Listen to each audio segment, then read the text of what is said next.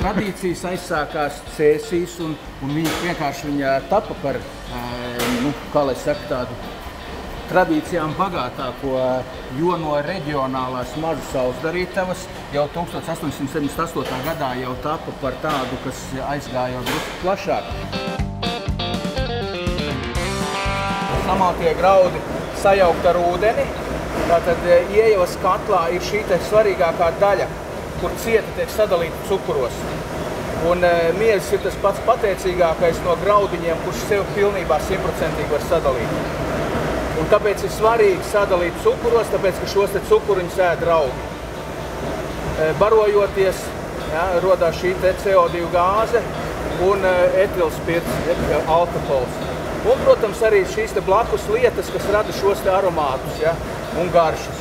Tātad svarīgākais ir raugam teiksim, vai, vai, vai augstsdarītājiem svarīgākais izvēlēties pareizos raugus, ja, tad kādus aromātus tu gribēsi. Un tad pēc tam tālāk, cik smalki sadalīsi, tik teiksim būs, vai, vai paliks vairāk alus baudītājam šis saldums, vai paliks vairāk atkal tā alkohola. Ja, tātad šis process ir svarīgi, cik smalki tu sadalīsi. Mm -hmm.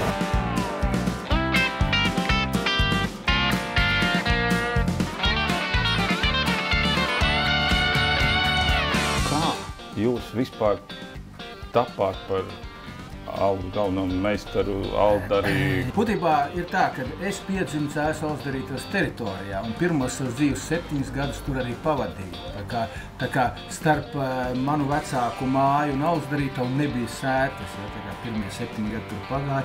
Un arī savu bērnību es atceros uh, caur iesalas smaržu, jo tajā brīdī tēvs taisa strādāja iesaulnīcā. Un, tad, kad bija mazs, man ļoti patīk skraidīt pa šiem silstošiem graudiem. Tēvs maisīja, tāpēc, lai viņi nepārkarstu.